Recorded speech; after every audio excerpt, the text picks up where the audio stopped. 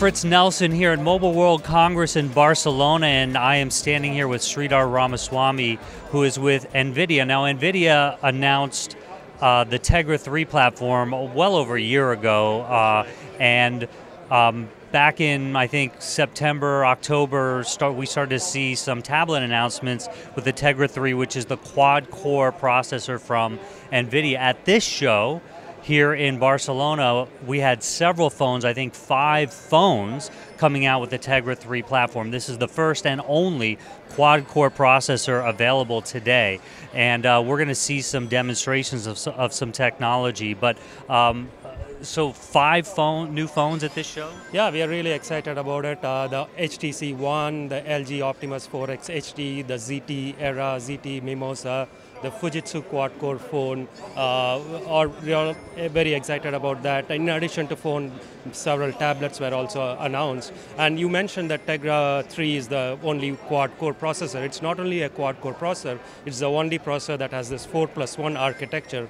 Yeah. So let's talk about the the one is is a fifth core, if you will, and it, exactly. it's for battery saving. How does that work? So basically, how it works is uh, we would use the four uh, main cores to, you know, perform, you know, high workload tasks like gaming, web browsing, uh, uh, stuff like that. And when you're not doing anything on your tablet, let's say you're just doing background things like email, or if you're just playing video or listening to audio, we would turn off these high performance cores and just run on this battery saving core to deliver like amazing battery life.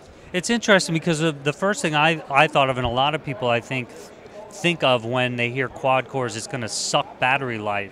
And not only is this fifth core helping with that, the four cores kind of work together to do that too. How does that work? Exactly, you get the best of both worlds. Like when you're not doing anything, we would use the battery saver core to like deliver great battery life. And let's say you kick off a game, we would shut off the battery saver core and go to the main core. And based on the workload, we would either use one, two, three, or four cores, and to deliver great performance. And uh, to your point, uh, compared to like older generation dual core tablets, Tegra based tablets, uh, reviews have shown that the Transformer Prime, which is a Tegra 3 tablet, uh, battery life is much higher compared to dual core tablets.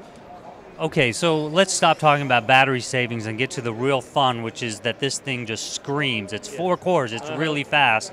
And we're going to see a couple of demos here. Um, and I think what we have behind us is Sonic Hedgehog 4, and it's running on the Asus Transformer Prime, which is a kind of a tablet ultrabook combo running Android, mm-hmm. and um, it, you know, what what are we seeing here in this game? So here you're seeing Sonic the Hedgehog 4 Episode 2. Uh, the developer obviously is very famous, Sega. Uh, this is a game that's going to be coming up in consoles and it's also going to be available exclusively on Tegra 3 platform. Uh, we launched this uh, at MWC. Uh, very excited about it. Uh, you can connect it to your big screen TV at home, hook up a game controller, sit back on your couch and enjoy this really great classic game with all modern textures like advanced graphics detail and like you know that kind of takes you back in time and gives you a great feeling. So what is the Tegra 3 platform allowing in this game that wasn't allowed before? So the Tegra 3 platform, uh, like I said, has uh, four CPU cores and a GeForce class GPU, and this game is utilizing the CPU cores, you know, for artificial intelligence, you know, physics calculations, and the GPU cores to like render really rich uh, graphics visual. Now, if I were to play this game on, um, you know, a dual core machine, what what differences would I see? Uh, dual core machines may not have all the effects that are seen in the you know the version that has been optimized for Tegra 3. You may not get the detail and the you know visual effects that have been added to this game to take advantage of the Tegra 3 platform. Great. Okay. Well, we're going to see one more demo of another game that takes advantage of the Tegra 3 and uh, shows off the processing power. Okay. This is Keiichi from INIS and. Uh, your company has developed a game called Eden to Greeeen. Do I have to do all the E's? You do with four E's. okay, and this is running on NVIDIA's Tegra 3, so we're going to kind of exercise the processor a little bit here, I imagine. Yes, that's right. Um, so yeah, this is running on uh, a Tegra 3 platform.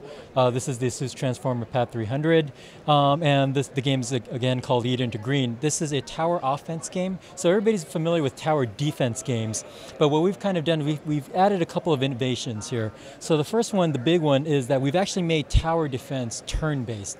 So usually turn-based games, you associate them with strategy games, but we've kind of packaged our game kind of as a turn-based tower defense game. So it makes it very easy to play. What you have to do is very simple. And uh, turn-based also gives us the advantage of having uh, the ability to do um, asynchronous multiplayer. So we actually support three-player cooperative multiplayer. Um, you can play all simultaneously, and it plays um, on multiple sessions as well. So you know, if you've ever played games like Words with Friends, you can have multiple sessions of your of multiple games with multiple friends going on all at the same time. So that's what's kind of cool about having a turn-based system uh, with this type of game. So the other uh, innovation is again, you know, I mentioned that this was a tower offense game. Is that you know you do the general placing of units and whatnot, but one of the goals of this game is actually, you know, you have this kind of patch of grass here, and what you want to do is you want to try to spread it all the way out until you get to this guy. This poor guy, he's kind of a tree that's been kind of enchained by the machines that have been taking over Eden. So what you want to try to do is like kind of spread the grass out until you reach him. So what I'm going to do is I'm going to place uh, what's called a resource unit here there's a tulip over here. What happens, as you can see, is that the grass, you know, it grows and it expands and expands the whole area of grass. And you want to continue to do this um, because the area, the surface area of grass will actually dictate how much energy you can use per turn.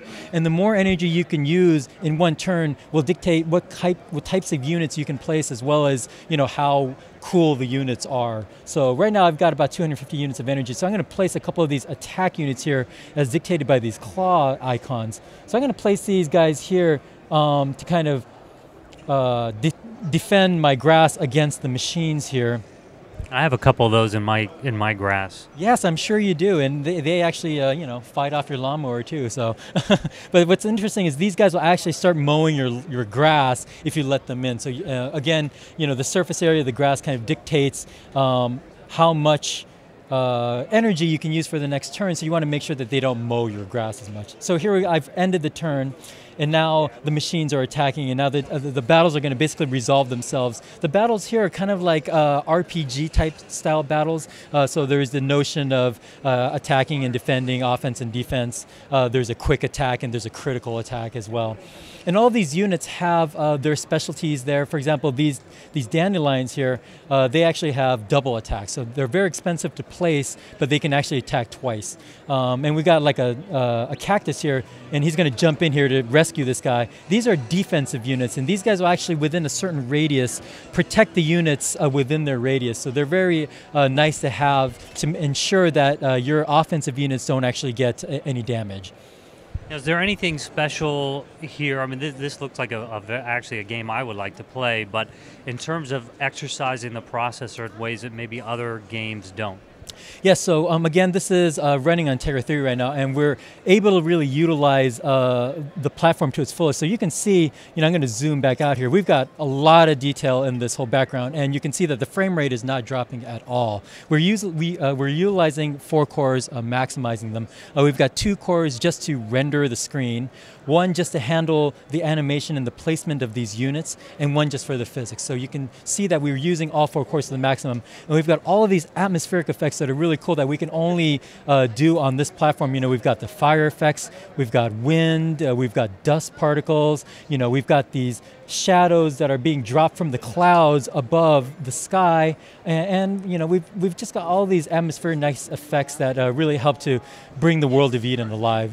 And also, you know, I can zoom all the way up here and you can see that the, the, the, texture resolution still maintains itself, you know, even at this zoom level. And you can also see that the models, they're very well detailed. You know, the enemy models, the, the player models, they're very well detailed even at this zoom level. And this we can only do on this platform. I mean, get from this this close up all the way, you know, if I take it all the way back, you know, we can do this because of the Tegra platform. So it's a really great platform to develop on for that reason alone. So is this available now? No, this is going to be available in July. So.